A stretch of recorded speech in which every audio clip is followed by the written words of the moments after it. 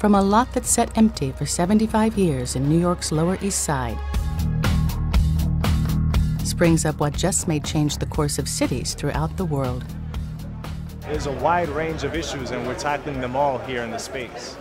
Urban activist Omar Freilla is a team member of the BMW Guggenheim Lab, the first of nine worldwide installations that will explore tough questions about the future of city life.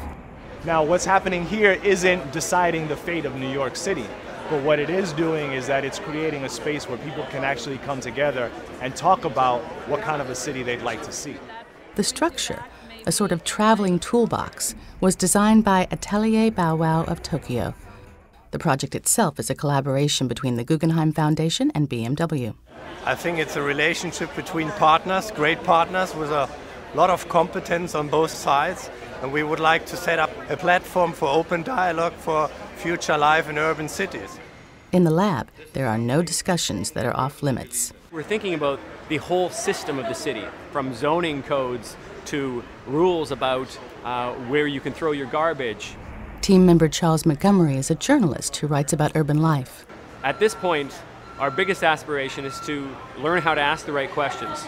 BMW is a leader in its industry, and as a leader, um, you always seek for getting the answers ahead of time. But in order to get answers ahead of time, you have to get the right questions first. And that is why we partner with the Guggenheim We actually created uh, this game that we call Urbanology.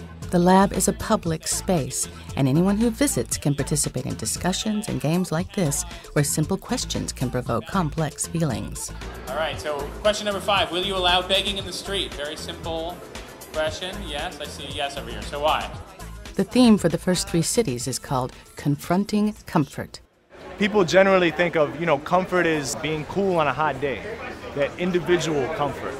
And what we're putting out there is that everyone pays a price for comfort.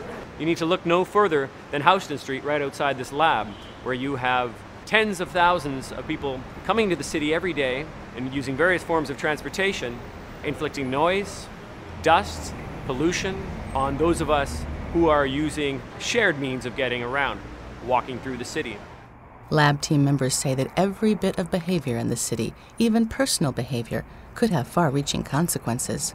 Is the South Bronx paying a price for the Upper East Side's comfort? Are there people on the sidewalk paying a price for my own ability to honk a horn, to get everybody out of the way?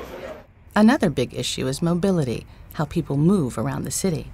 You have to find somewhere to park your bike or your car. You have to find somewhere to store it. These things cost money. What if we were to share our vehicles? BMW believes it must take a socially responsible view of the city's future transportation needs.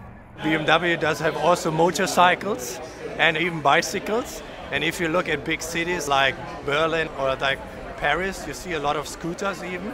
Maybe scooters are more important in the future. We offer mobility solutions.